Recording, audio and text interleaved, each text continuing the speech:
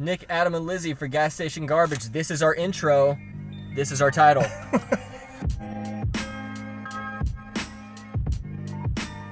we are at the Kenjo Market in West Knoxville. Yes. Um, we have gotten a lot of suggestions to try this, and so we're finally here and we're finally doing it. Kenjo makes a three foot sandwich called the Super Granddaddy. Um, this is what it looks like when it's half because Lizzie and I are we're, we're petite. The first thing that I thought of when I saw these on the on the little cooler was it reminded me of the Cheech and Chong movie Up in Smoke where they have the big dog poop joint. Yeah, that's what it reminded me of because it's so comically gigantic. They wrap it very nicely. Yeah, It for sure. I'm wondering if that's maybe done off site and these Could are be. shipped Probably. in. Yeah, they're probably pulled in on a refrigerated truck. Bologna, salami, ham, Bologna? and Yeah. something else. I'm not a big bologna fan. Me neither. Full disclosure. Oh, Oh. Lizzie went ahead and broke hers open. Yeah, But it's saran wrap. she got a oh, hoagie. Oh, that's good. Hoagie. Look at that one. That's ridiculous. so How are you stupid. gonna eat it? me, and Nick, me and Nick are gonna lady in the tramp. Just frame it up. Here's my first impression, and this this discourages me right out of the gate. This reminds me of those boring sandwiches they give you on airplanes when you're sitting in uh, coach. You guys didn't get any condiments. they didn't have any condiments. There were no condiments. Yes, that I saw. This is what it looks like. Am I underwhelmed? Ew. Probably.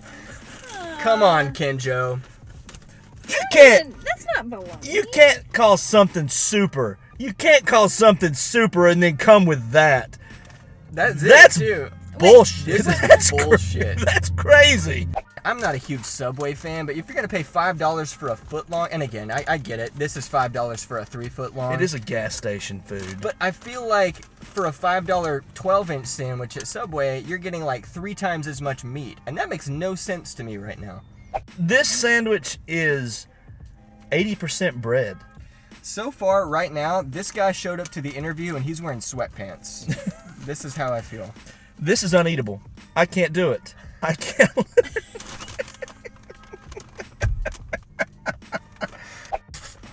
Mm. tastes like bread and cheese. It tastes like bread.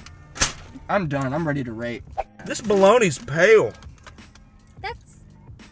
Bologna. Yeah, that's Bologna. Oh! I dropped the bread. Okay. That's falling apart now, too. It's nothing but bread. It's not good. That is the most unflavorful salami I have ever eaten in my entire life. The big one was 6.49, and then uh, and then you could get two halves for 3.25, so the same price. I went in actually excited. I've never had a granddaddy sandwich. BP used to advertise these as as a as a draw. Come in, try the super granddaddy sandwich. It's got all the meats. Um, which they stopped subsequently, you know, a few years ago, which I can now see why. Evidently, cost cutting measures have reduced this to essentially a gigantic piece of bread uh, with with with meats that all taste like bologna and cheese with no flavor. Let's let's talk about the ratio of meat to cheese. I'm thinking like 25. I'm thinking like 10% meat, 20% cheese, 70% bread. Good quick math, nice. That was hard. Too. Yeah, I I would almost had a have stroke just then. I would have beefed that one hard. I was actually kind of excited about this. I know, me too. And um, and boy howdy, um, was I wrong. You know, when we did the boar's head sandwiches, Hmm. which was one of our earlier endeavors, there was a pile, there was an entire like bucket of condiments to add to it and stuff.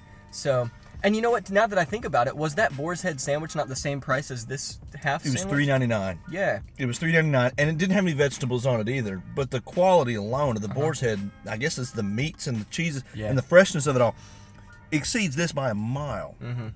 Here at Gas Station Garbage, we rate everything on our patented scale of 1 to 10 Gordon Ramsays.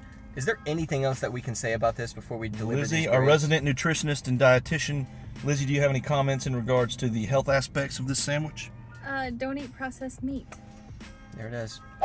I can't really think of a redeeming thing to say about this. There's a lot of it. Maybe maybe that. But again, you're paying the same price as you would for something, you know, that would be equally as good. I'm going two Gordon Ramsays. This is one of my lowest ratings thus far. Incredibly disappointing, especially for a marquee food. I think they, they have these things like on the signs and stuff, like advertising. I, I would bury this stuff. This is not great. It's all bread. It's like dry freezer burn, freezer tasting bread. The meats have little to no flavor. Uh, the cheese is texture's not even that great on the cheese. Honestly, this is the most disappointing sandwich I've ever had in my entire life.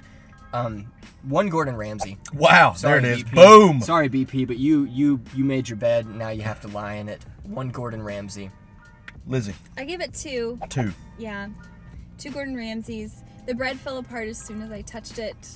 Um, the, I'm not a huge fan of deli meat, but what was on there was super thin. You couldn't really taste it. it just tastes like salt and cheese and bread that falls apart. To quote you, meat's meat, Meat, meat is meat. salty meat. Salty meat. It's true. That's true. Uh, Unimpressive. sorry guys. Uh, you know, I guess better us than you. Can't you can't Um, win them all? They can't all be winners. You That's can't right. knock them all out of the park. Please make sure to like, follow, and subscribe to our YouTube channel.